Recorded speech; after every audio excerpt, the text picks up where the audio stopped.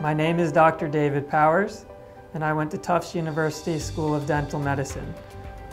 For me, dentistry is, is more than just a career, it's really a passion.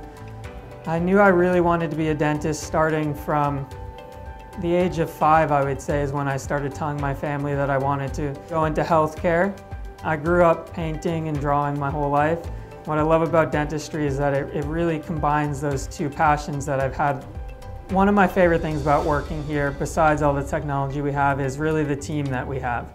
Everybody here has so much experience and they all bring different skills to the table. And so we're really able to, to create the most comprehensive treatment plans possible for any given situation.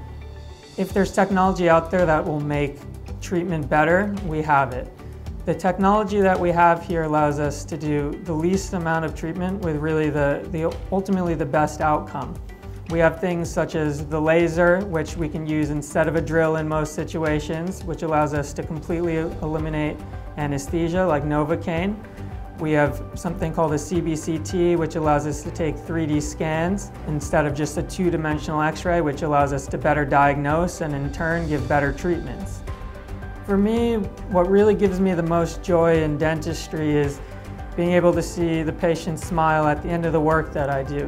When a patient comes in with a broken tooth or they, they come in with pain and I'm able to send them away naturally smiling they're leaving happier than they were when they came in, that, that really means a lot to me and that I can do that for the rest of my life.